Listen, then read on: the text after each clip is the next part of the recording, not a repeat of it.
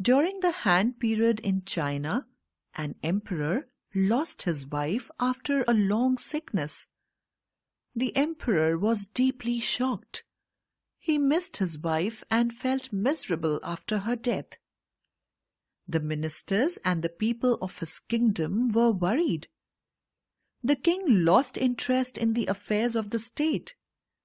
The emperor would often sit in his beautiful palace garden and watch the activities of different animals. A troupe of dancers would perform to cheer the emperor. But the emperor was still sad.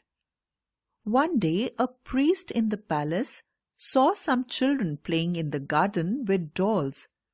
The dolls made shadows on the floor.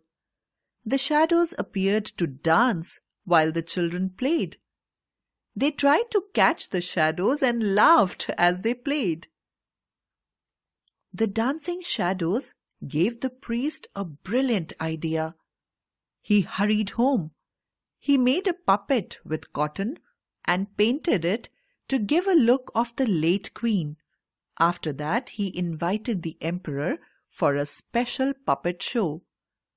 The priest showed the emperor the dance of the shadows and at the same time narrated the story of the late queen.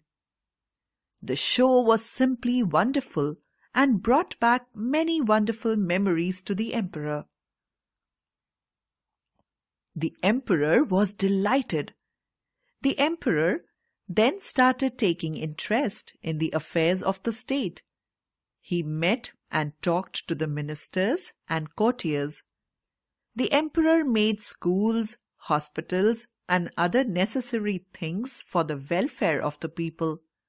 The people were happy and they praised the emperor.